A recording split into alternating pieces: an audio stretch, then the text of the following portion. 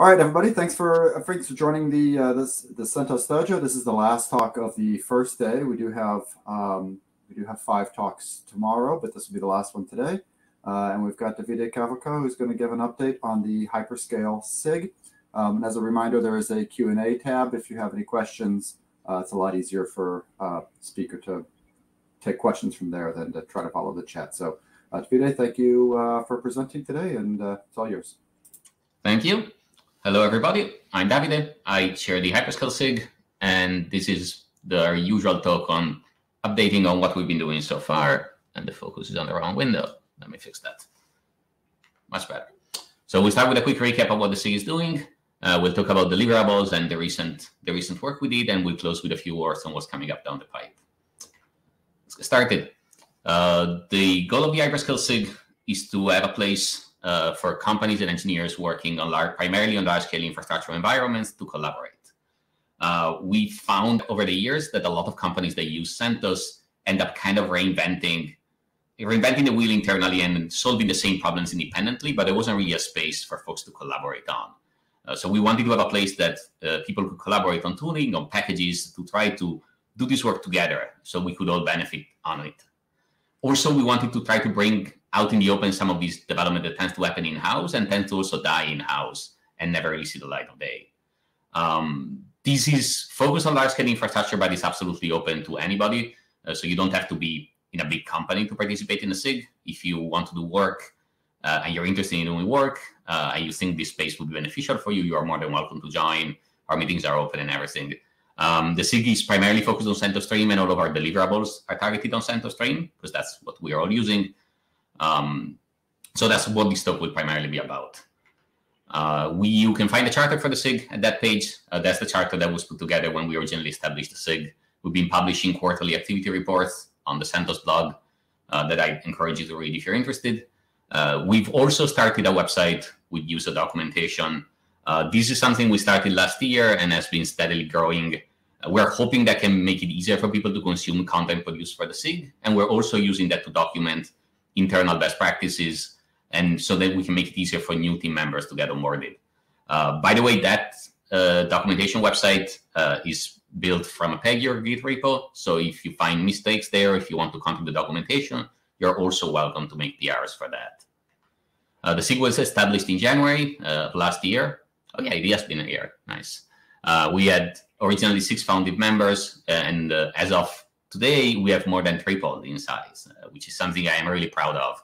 Uh, it's been really, really awesome to see this community grow and see more and more people get involved. Uh, see people that we didn't really know before get involved. These are, this wasn't just people from Facebook or from other companies, um, but it's been a lot of a lot of folks from the community as well, and it's been really great to see this. Uh, we have an IRC channel, uh, Pound CentOS Hyperscale on Libera. This channel is also now based on Matrix, so you can talk to us from both the IRC side and the Matrix side. Um, usually, uh, I think most of us are in Pacific time, um, but there's usually folks hanging out there if you have questions. And if we don't answer immediately, we probably answer the day after. Uh, we have meetings on IRC every two weeks. Uh, we try to publish the meetings minutes uh, on um, on that page as well. Uh, there's minutes going back to last year to when the SIG was founded. So if there were previous discussions you want to reference, you can see them there. Uh, we also do a monthly hackathon video hangout where we all hang together on a VC bridge on Zoom and either work together on stuff or chit chat. It's a good it's a good opportunity to get to know people face to face and have some social time as well. Uh, we use Pagure for tracking SIG work items. Uh, so for everything we work on, there's an issue there that we try to keep up to date. Uh, so you can follow development there. And if you find, if there's things you want to work on or if you find issues with SIG, um, with content produced by the SIG, you can also report bugs there. Uh, I used to also have a list of conference talks on this slide, uh, but we have done way too many conference talks on this. So I've moved it to a page that you can see, and there's links to YouTube and slides and stuff. Uh, we did the last the last version of this talk I gave was at Dojo in October. Um, so this roughly covers the work we've done since October till now. So what do we do in the SIG? Um, these are the broad scopes, uh, the broad spokes of work that we do. Uh, I say the main deliverable we have right now is uh, a set of package backports that tend to track, uh, they tend to move faster than the stock packages in CentOS. So there's packages where, for one reason or another, we might want to have a more recent version, uh, and we can't contribute the more recent version to CentOS proper um, because, understandably, CentOS is locked on the version they have in the distribution. So we maintain this as a backport within the SIG itself, uh, and these are meant to be drop-in replacement for the most part. Uh, we also have a set of packages that apply policy and configuration alternatives, uh, generally to enable additional options in a package that is already provided in CentOS that is unsuitable for upstream, uh, but that enables additional functionality. So one example is for iptables. Uh, we have a set of packages that enable uh, the legacy iptables backend. Uh, we have an additional repository that we use for large-scale testing of features. this is used primarily for things that we would like to eventually contribute to the distribution, but aren't quite ready yet uh, and this makes it easy to test and use them. Uh, we also build an deliver kernel, and we recently started building uh, and delivery spin live DVD ISO images for distribution spin. Uh, I'll talk about all of these in more details in a bit. Start with the package backports. Uh, you can use the package backports today. If you DNF install CentOS release hyperscale, that will add our repo, and you will be able to access our packages. As I said, these are meant as drop-in replacement for stock CentOS packages, so they should work out of the box and they shouldn't be too different or too surprising. Uh, we have a repo that you can use if you find bugs in these packages and you want to file them. Um, please file bugs in that repo and not on Bugzilla, because otherwise the maintainer of the package in CentOS would be very confused because they won't know what you're talking about. Um, it's worth noting that this repository is built against the EPEL and requires EPEL, and it requires uh, and the EPEL in turn requires Power Tools or CRB online. Um, we do this because almost everybody that runs CentOS also runs EPEL, uh, so there wasn't really any reason to not put it in. Uh, one thing that is new uh, as of late last year is that we started building for both x86-64 and AArch64. Uh, I believe all of our packages are now built for both architectures. Initially, we only had a subset, and in the future, we plan to have both updated in parallel. Uh, we don't support other architectures, but if folks from the community are interested in working on, say, PowerPC or S390, we would also welcome contributions for that. Uh, the main issue with architecture support is being able to test and support it, obviously. So if you don't have the hardware, it's kind of tricky. Uh, one backport in particular that we maintain that we want, that I want to talk about for a bit is systemd. Uh, within the SIG, we track the latest systemd upstream. So right now we ship systemd 249, which was released a while ago, and we are in the process of updating to 250. Once 251 comes out, uh, probably in a few weeks, we'll also uh, start working on updating to that. Um, as of uh, a couple of months ago, we have builds available for both CentOS Stream 8 and CentOS Stream 9 of systemd. These um, are updated in lockstep, so they'll always track the same version. Uh, and by the way, stock CentOS Stream 9 um, is also in the process of being rebased to 250. So even without hyperscaler, you will get a nice and modern system D there. Um, with this system D, we have a few policy changes as well compared to the build of systemd that's included in a stock CentOS Stream. Uh, in stock CentOS Stream, uh, we default to the to the unified cgroup hierarchy with cgroup two because nobody should really be using cgroup one at this point. Uh, and the nice thing about cgroup 2 is that it also enables a lot of advanced resource control features that otherwise wouldn't be available. Uh, we also ship additional packages for systemd oomd, uh, which allows you to do user space out of memory management. Uh, this requires PSI, which is a feature that's provided by the stock Stream kernel, but it does need an extra um, command line knob. Uh, I think you have to pass PSI equal one if you're running that. We also ship systemd network D, systemd resolve D. Uh, in general, we ship everything that's available upstream, and you can refer to the upstream uh, news uh, documentation to see what changed in a given version. We also have a set of SELinux rules so that you can run these systemd backport with SELinux in enforcing mode. Um, these aren't that well tested, and I would really love uh, some feedback and ideally even some contribution for people that use SELinux and are experts in it, because I'm definitely not, and I've been mostly winging this. Um, so this is an area where I think we could we could benefit from more community involvement for sure. Um, the way we do the development of systemd is that we have a fork uh, maintained on the CentOS hyperscale repo. Uh, this automatically tracks the latest systemd. So we have a master branch there, a main branch there that mirrors the main branch on the systemd GitHub repo. And then we have feature branches for every version we make where we will we will branch it and then we will add whatever patches we need to backport. And that's what we use for our backports and our releases. The scripts and the build tools we use for these are published in a separate repo, and these are also the scripts that run on our CI. Um, Anita, who maintains some of the systemd work in this repo, has built has written up a nice contribution guide. So if you're interested in working or sending patches, you can refer to that. In addition to the releases, uh, as I mentioned, we also have a CI. We use the OpenShift CentOS CI, which is awesome, by the way. And if you haven't used it and you're a SIG, I would highly recommend you to look into that. And what we do with the CI is that we take every day, we take the latest Git, uh, Git main branch for systemd, we pack it up, we we build it against the spec file that's currently in Hyperscale, and we check if the build still works. Uh, and the, a nice byproduct of this is that we get daily builds of systemd. So if you need to test a very recent systemd feature that just made it to mainline, you can just grab a package from Koji uh, and you can look up Hyperscale bot and run it. Uh, and we found this to be really useful because it allows us to find issues with the packaging and with the distribution well long before they make release, so we can get them sorted out upstream. Uh, something else we would like to do eventually is some form of VM testing, so we can take these daily systemd builds and boot them, uh, but we're not quite ready for that yet. Another thing we did recently has been updating the compression stack in CentOS Stream 8. Um, so we've updated both LZ4 and ZStandard to the latest versions, which add a number of performance improvements. And with ZStandard, we also enable support in the CLI for other archival formats, uh, which is convenient if you want to use the CLI to unpack those archives. Now, this isn't terribly interesting per se because it's just a version update. Uh, the reason I put it here is because the reason we were able to do this is because these libraries are API and ABI compatible. So normally, if you update a library, you would need to rebuild all the downward dependencies. Now, half the distribution ends up recursively depending on one of these. So it wasn't really feasible for us to rebuild all of the distribution just to update these libraries. But because the libraries have an API and ABI guarantee upstream, we were able to do this without requiring any rebuilds, and this just works. Um, that's something that was quite nice and somewhat unexpected, to be honest. Uh, so we'll be keeping an eye out for other other packages in the future that make the same kind of guarantee and see if it makes sense to have them updated uh, if the need arises. Uh, now, I've mentioned CentOS 39 a couple of times, and unless you've been living under a rock, you will know that CentOS 39 is available and ready for use. We've already started building packages for 9 in Hyperscale. Uh, we plan going forward to build packages concurrently for Stream 8 and Stream 9 until Stream 8 uh, goes EOL down the road. Uh, we don't have a release package out for 9 published yet. So if you want to use our packages for 9, you will need to add the repo manually. But we have that in the works and we hope to have a, a release package out soon.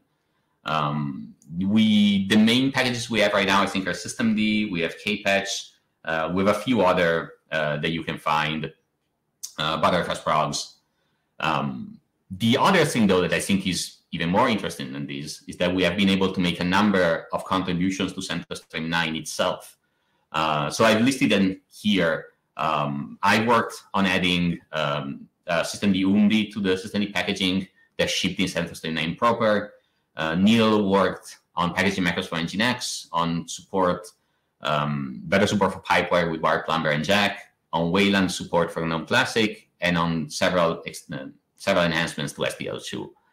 Um, I'm really proud of this uh, because doing this work make the it possible to improve things in CentOS Stream 9 proper, and it makes life better for everybody, not just for people using Hyperscale.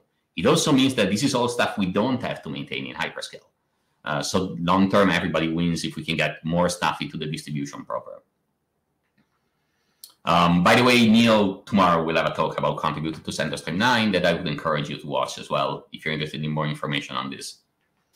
Um, now, moving on, on to the large-scale testing. The idea, as I mentioned before, is to have a space that we can use to test new changes to the distribution in a way that is easy to deploy in production. So a good example here is the DNF copy on write work that we are doing within Fedora. The idea behind DNF copy on write is to have enhancements to the packaging stack that allow us to leverage Btrfs features such as copy on write to make them more efficient.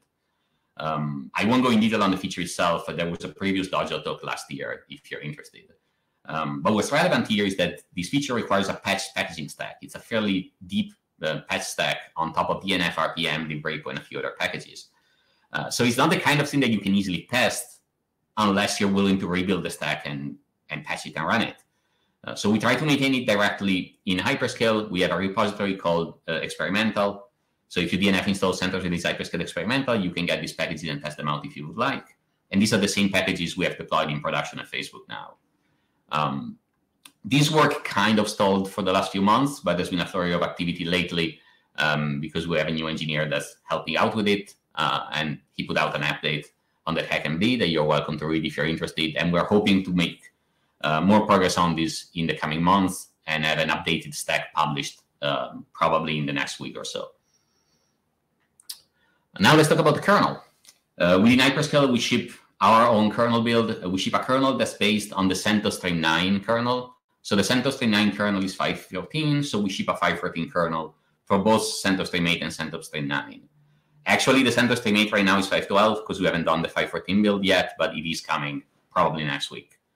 The way we do the kernel development is similar to the way we do the systemd development in that we have a repo under the CentOS Hyperscale org that we use to stage patches. Uh, this kernel um, tries to stay as close as possible to the upstream kernel, but it has a number of config options enabled. Additionally, the main one being Btrfs support. Uh, it also might contain occasionally patches uh, that we haven't gotten upstream yet. Upstream, in my upstream, I mean into the RHEL kernel yet, although we try to stay as close as possible to the RHEL kernel, and we definitely do not want to diverge here as much as possible.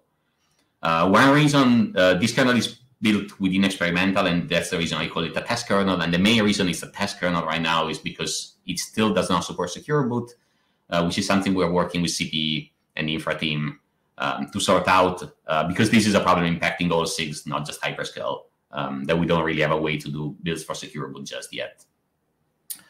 Um, now with the kernel, uh, as I mentioned before, we have done, we were able to do a number of contributions to CentOS 9, and I was really happy to see that we were also able to do contribution to the CentOS 9 kernel. Uh, most recently, uh, we had an MR up to sync the standard code base with uh, the one in 516 and enable a few additional options. We had another MR to enable config 2B, which is a prerequisite for Btrfs, and we also had a number of build fixes. In the future, we hope to be able to send MRs to keep the Btrfs stack up to date uh, and fix any issues that might come up uh, during feedback from the community. Neil brought up a contribution guide for how to send patches to the RHEL kernel that I'd encourage you to read if you're interested. Um, the process is still being worked on, um, but it, it does work. And I can tell you that we did get multiple MRs merged at this point. So if this is something you're interested in doing, I would highly encourage you to have a look at it. Another welcome surprise that we had uh, was that the KMOD SIG published a KMOD Btrfs module for CentOS 9. And this is a module that you can use if you're not running the Hyperscale kernel, but if you're running the stock CentOS 9 or the RHEL 9 kernel where RHEL 9 will come out, you can install KMOD Btrfs from the Btrfs uh, from the KMOD SIG, and you will be able to access Btrfs file systems. And this will use the same Btrfs code that's in the RHEL kernel tree, and it's the same code that we will be working on.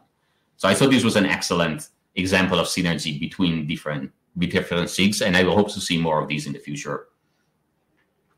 Uh, we also do work on the user space side of the kernel. As I mentioned before, we maintain Btrfs progs within the SIG because um, Btrfs progs is not part of, uh, of CentOS proper because CentOS doesn't ship with Btrfs enabled right now.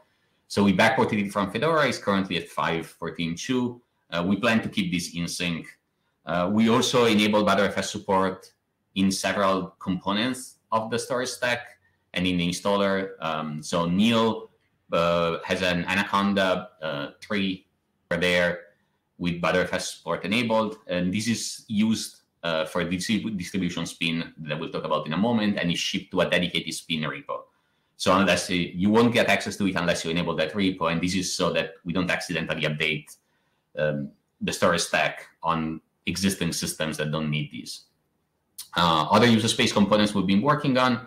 I recently published a build of ethtool 516, which included extensive hardware support improvements, this also, I also put this up as an MR to get it updated in CentOS Stream 9 because Stream 9 was still shipping with 5.12, uh, I believe. I'm not sure, but an older version for sure. Uh, that MR is still being worked on.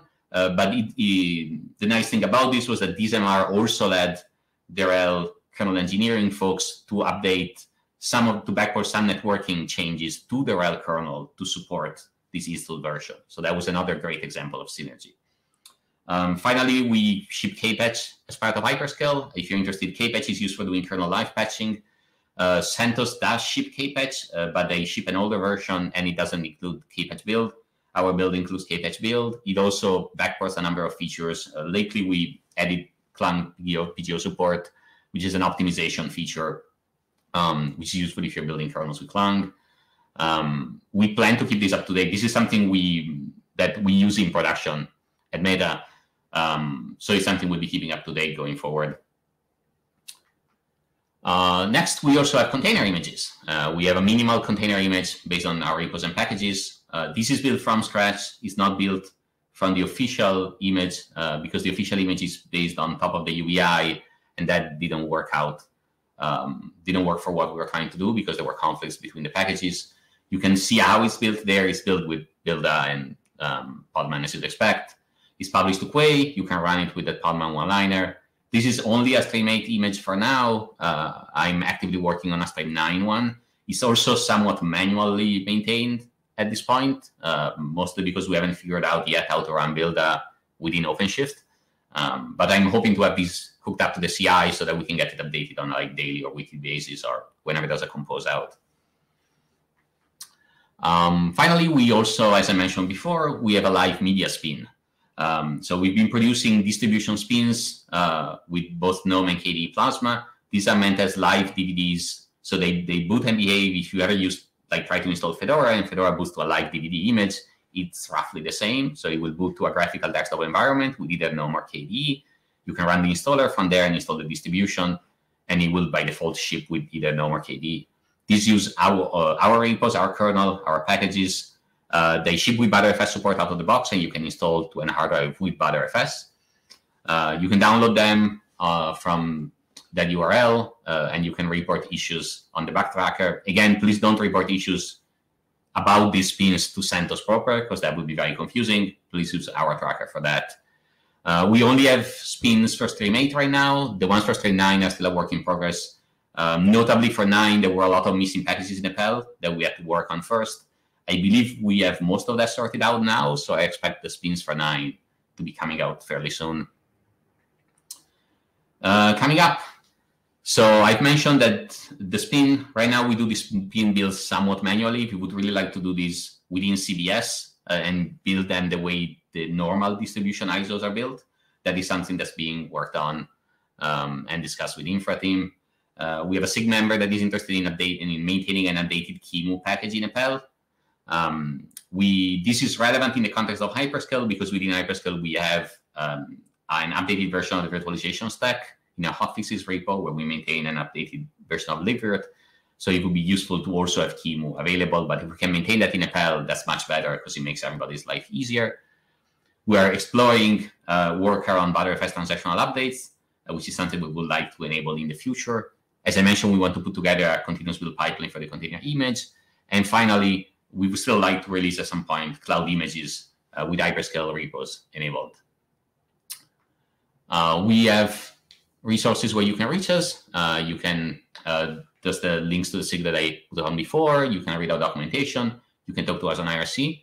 You're welcome to join our meetings. Both are bi-weekly and the VC Hangout are open to everyone. You do not have to be a member of the SIG to join them feel free to show up, say hi. If you want to work on something, if you have any question, um, in the in the CentOS calendar, you can find all the details, uh, the issue tracker, and if there's like a, a more a discussion instead that would benefit from email, feel free to use the CentOS Devel mailing list. That's all I had, and I went very quickly, so we left plenty of time for questions. Thank you. All right, let me look at the Q&A tab and see if we have any questions.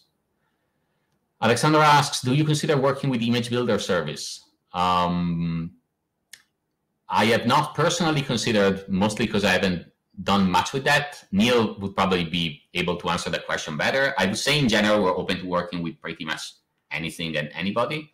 Um, I think for image builds, image builds is some of a confusing space uh, because there is a there's a lot of overlap between different tools and different different things that are available. Uh, like there's OS Build, there's QE, there's uh, live uh, media creator, there's live CD tools, and probably a few more that I'm forgetting.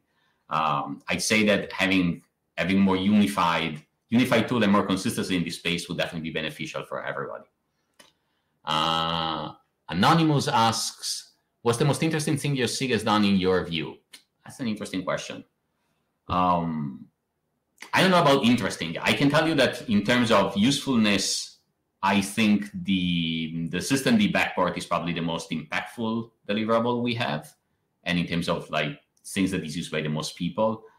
Um, I think in terms of interesting, I think the distribution spins are really interesting, and it's something that I was not really expecting to see coming out of this SIG when we originally established. Um, but it provides a great environment for showcasing and testing uh, the work we're doing. Anonymous is asking, anywhere going with Redfish hardware management?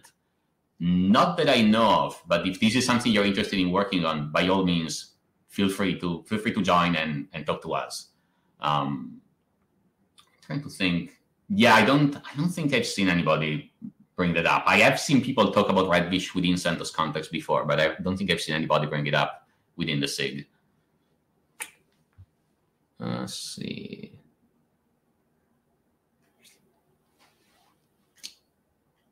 Oh, and Neil mentions in the chat that Image Builder is still OS Build powered, and there's still a couple of issues with OS Build that's causing problems there. So it sounds like there's some further discussion needed there.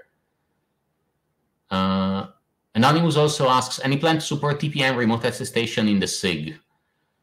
Uh, I believe there's already TPM support in CentOS. Uh, and in fact, at one point I had looked at um, having updated builds of TPM tools and a few other packages within Hyperscale. I honestly forgot if we actually published those or not. Um, but that was definitely something that we were looking at. In general, I don't think anybody's working directly on that, but I don't think there's anything that prevents you from doing that now. Um, the lack of secure boot is kind of obnoxious, uh, although that's a bit that's orthogonal to that's orthogonal to attestation, but it's something within the same ballpark. Um, again, I would say if this is an area that excites you, uh, you're definitely welcome to join us and work on it.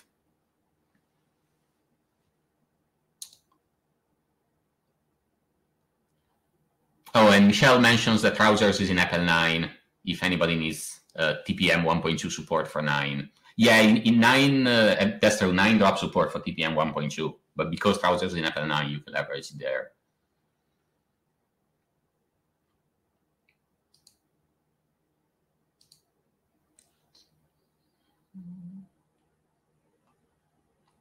I was going over the chat and seeing, I don't see any other questions there. Uh, Neil linked to a couple of issues uh, relevant to the OS build conversation that uh, issues 455 and 517 for the recording on the OS build repo.